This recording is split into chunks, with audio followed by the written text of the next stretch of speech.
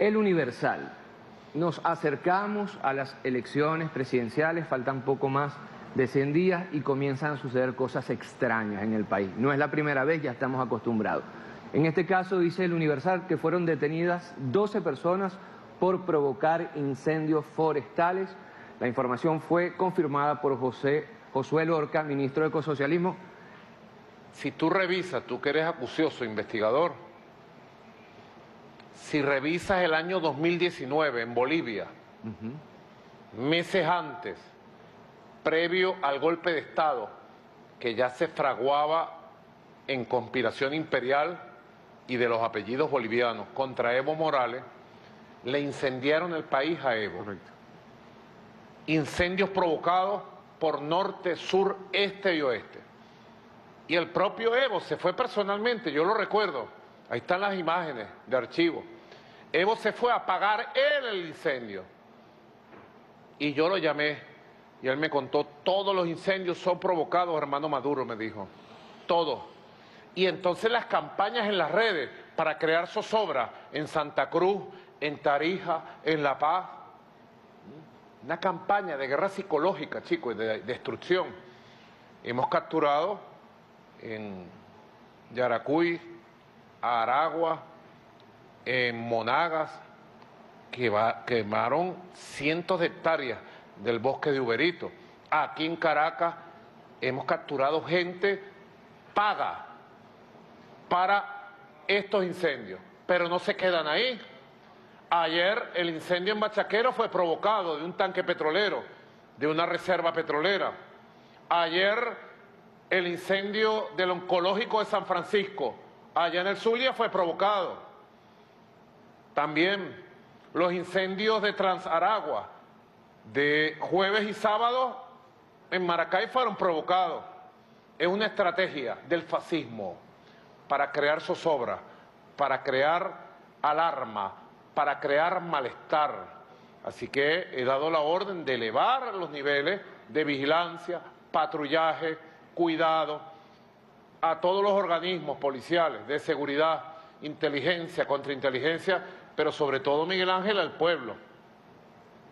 Ojo avisor, millones de hombres y mujeres de los consejos comunales, de los CLAP, jefes y jefas de calle, comunidad, vamos a cuidar nuestro país, porque detrás de buena parte de estos incendios provocados, de esta destrucción provocada, está la derecha de los apellidos tratando de vengarse de Venezuela y tratando de hacer un daño porque es año presidencial.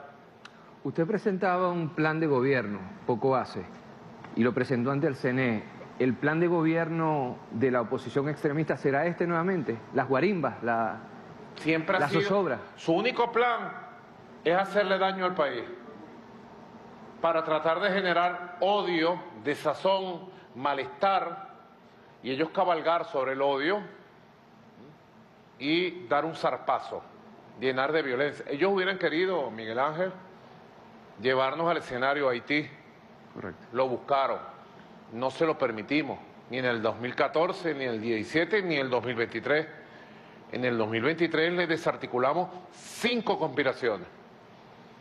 Y te doy la primicia, este año 2024 le hemos desarticulado cuatro conspiraciones.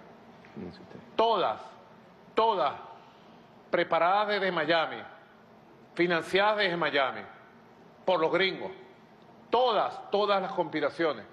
Las cinco del año pasado, las cuatro de este año, preparadas desde Colombia por la base secreta de la DEA, de la CIA y del FBI, con conspiración de antiguos funcionarios, tengo los nombres, me los reservo para los próximos días, tengo los nombres de los funcionarios de alto nivel que estuvieron, estuvieron en gobiernos anteriores de Uribe Vélez y de Iván Duque y dirigen toda la campaña contra Venezuela, toda la conspiración contra Venezuela. Lo tengo, nombre, apellido, cargo que tuvieron y todo viene de allá.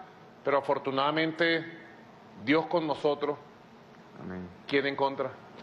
Bueno, tu vaso, pues primicia, ya deben estar todas las salas de redacciones vueltas locas. De tu vaso en tu vaso. Bueno, Ahora, lo cierto es que no se para el calendario electoral y se publicó el listado oficial, a pesar de todas estas tramas, se publicó el listado oficial de miembros de mesa para las presidenciales. Señor presidente, el Consejo Nacional Electoral publicó el listado oficial de los miembros de mesa que acompañarán la jornada comicial en las presidenciales del 28 de julio, porque lo que se está buscando es precisamente parar el proceso. Aquellos que claman por elecciones, cuando hay elecciones, están tratando de parar el, proceso electoral venezolano. Y así hay que seguir.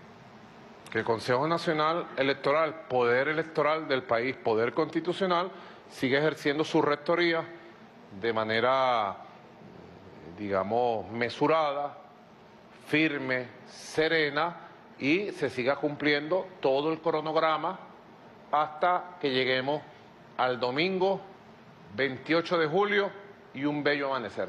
¿Será que ellos no quieren elecciones, señor presidente? Ellos lo que quieren, una contrarrevolución.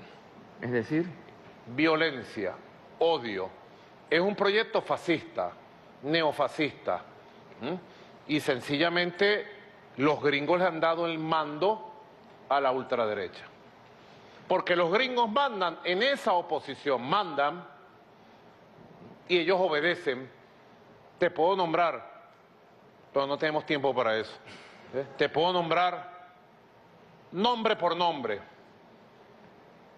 de los 10 partidos de la PUP, de todos sus voceros, todos son nómina de los gringos. Todos y todas son mercenarios de los gringos.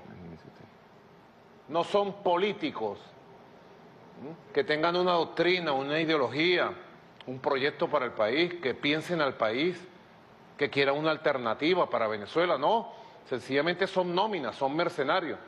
Y ellos insisten en el viejo esquema del odio, la división, el enfrentamiento interno, la guarimba, el zarpazo golpista tipo 11 de abril, tipo 30 de abril, pero no hay condiciones para eso y se los impediremos y en Venezuela va a reinar la paz y un clima electoral de plenas libertades como el que tenemos hoy.